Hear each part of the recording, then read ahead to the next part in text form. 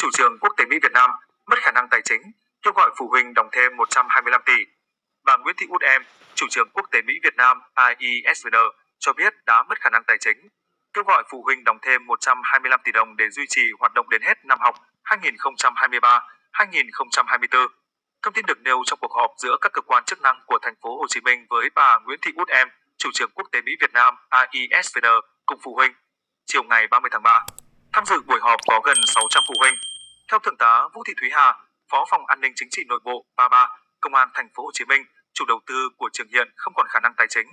Bà Hà cho biết thêm vào hôm 29 3, đội ngũ giáo viên nước ngoài rất căng thẳng, hiệu trưởng khẳng định nếu không đảm bảo tài chính sẽ nghỉ việc. Đại diện bà bà cũng cho biết hiện cơ quan chức năng giám sát chặt chẽ hoạt động của báo Út Em. Mở cuộc đàm phán giữa chủ trường với các nhà đầu tư đều chưa có kết quả. Nhà đầu tư do phụ huynh giới thiệu cũng dừng ở mức tìm hiểu, nghe những lùm xùm đều rút lui. Khi làm việc với một số đối tác, các bên cho rằng trường lỗ một phần do học phí đang rất thấp so với các trường cùng chất lượng. Do đó, bà út em đề nghị xin hỗ trợ từ phụ huynh là khoản chênh lệch để bù giá học phí mà thời gian qua bà không bù nổi. Đây là phương án ngắn hạn đến tháng 6. Còn về dài hạn, bà út em đề nghị cổ phần hóa doanh nghiệp. Phụ huynh đóng tiền, thực tế sẽ là hợp đồng góp vốn, dân sự, phù hợp với pháp luật. Khi đó, phụ huynh được hưởng giá trị cổ phần tương đương. Với các khoản vay từ đợt 1 cho đến nay, ai có nhu cầu thì sẽ chuyển tiền thành cổ phần. Không thì khi nhà trường có phương án như bán cổ phần sẽ trả lại. Tại buổi họp, bà Nguyễn Thị Út em xin lỗi phụ huynh và trình bày phương án kêu gọi đóng góp. Theo phương án này, kinh phí để duy trì dạy học từ ngày 10 tháng 4 đến hết năm học 2023 2024 là 125 tỷ đồng. Cụ thể mức hỗ trợ mà chủ trường IESN kêu gọi phụ huynh là 9,5 triệu đồng ở bậc mầm non, tiểu học 14,5 triệu. Khối lớp 6 đến lớp 8 là 20,5 triệu mỗi tháng. Từ khối lớp 9 tới lớp 12 là 22,5 triệu đồng. Một số phụ huynh nêu ý kiến nếu không đồng ý đóng thêm tiền thì phương án giải quyết thế nào?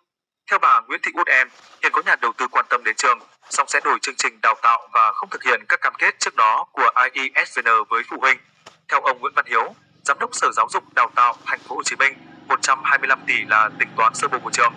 Nếu đóng góp, phụ huynh sẽ là người giám sát quy này, cơ quan chức năng cử người hỗ trợ. Trước mắt cần làm sao để học sinh trở lại học tập bình thường vào ngày 1 tháng 4 và phương án phụ huynh đóng tiền tiếp tương đối hợp nếu chuyển trường, phụ huynh cũng phải nộp học phí ở nơi mới. Theo khảo sát mà trường thực hiện hôm ngày 29 tháng 3, gần 85% phụ huynh tham gia muốn con tiếp tục học tại IESVN. Ông Hiếu nói thêm ngành giáo dục đào tạo thành phố đã hứa với các giáo viên là phải giải quyết vấn đề lương, bảo hiểm, nếu không họ sẽ nghỉ việc ngay. Sau các ý kiến nêu ra, các cơ quan chức năng tổ chức biểu quyết với phương án đóng thêm tiền. Phần lớn phụ huynh có mặt trong hội trường giơ tay đồng thuận. Ông Hiếu cho biết trường sẽ lập danh sách phụ huynh đóng tiền ngay cuối tuần này để Sở Giáo dục đào tạo làm việc với giáo viên vào thứ hai tới. Theo ông Hiếu, thời gian rất gấp rút, đề xuất phụ huynh cử người, tốt nhất là có nghiệp vụ tài chính để cùng quản lý số tiền.